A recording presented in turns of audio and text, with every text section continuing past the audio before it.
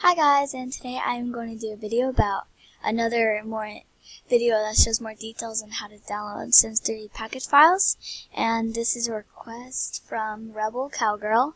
She was she was having problems with it, so I'm gonna do another video to maybe help her out. So um, right here is um, Mod the Sims. This is the helper for the package files and it shows kind of how to do it, but I didn't really get it by reading it.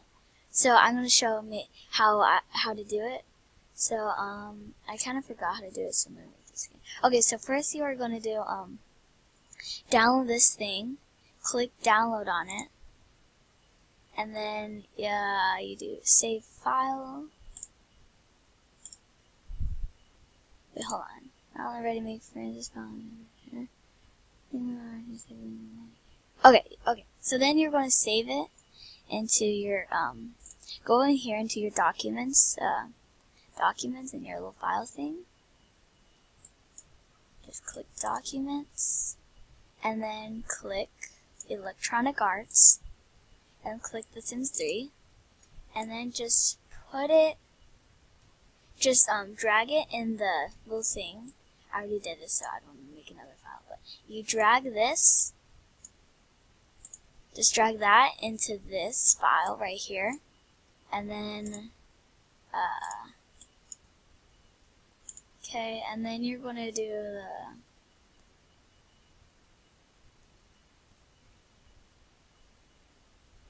okay and then you're going to see I'll just do it whatever. You drag it in here and then you're going to see it. You extract it. You gotta have uh here I'll do a link in the description, but you gotta have this.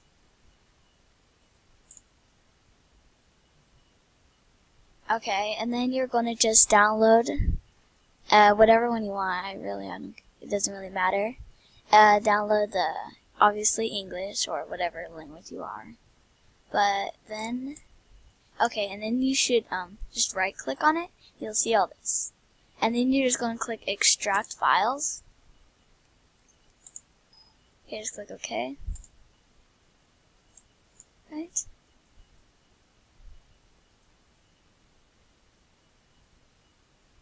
Okay, the new folder will appear called mods. I don't think it worked because I already did it. But then you'll see this folder. Just click on it. And then, okay, and then that's basically it. And then you're going to see this.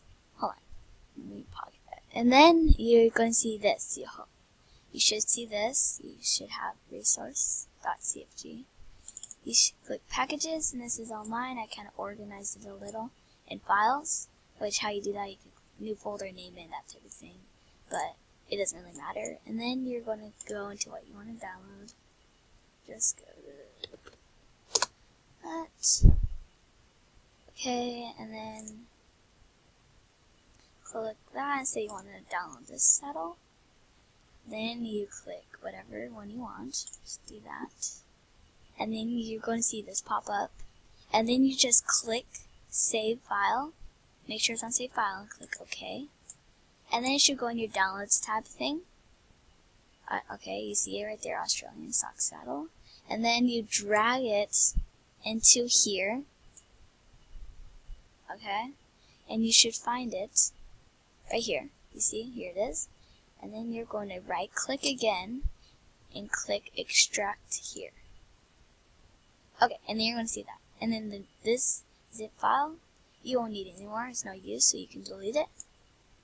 And then you should have it in there.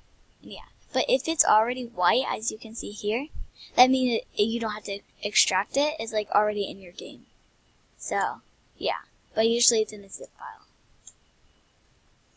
And then that's basically it on how you do it. And then you should see when you get into the Sims 3 game menu, when you get into it, you should um you should see like uh, uh how do I say mod scripts found, and you should see all the stuff you got you went you put in your folder, and that that shows you that you got it in, and it should yeah work. So I think that's basically it. I did all on how I do it, and hopefully this will work for you. So, yeah, that's basically it.